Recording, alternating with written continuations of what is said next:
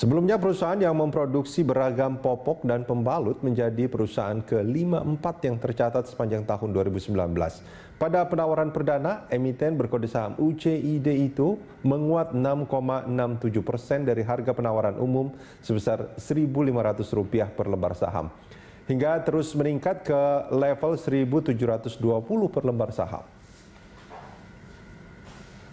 Saham Unicam Indonesia diminati para investor dalam negeri. Usai resmi IPO pada 20 Desember, saham Unicam melesat naik.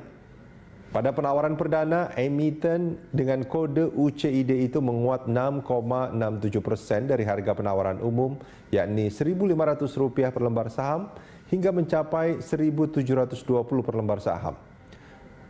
Perseroan total melepas 831.314.400 lembar saham ke publik dengan harga IPO Rp1.500 per saham. Porsi investor asing dan domestik yang menyerap saham perdana perseroan imbang, yakni sekitar 50 persen.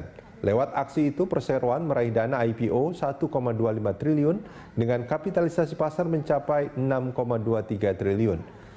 Hal itu menjadikan Unicam sebagai emisi atau emiten terbesar sepanjang tahun 2019 yang mencatatkan namanya di papan bursa.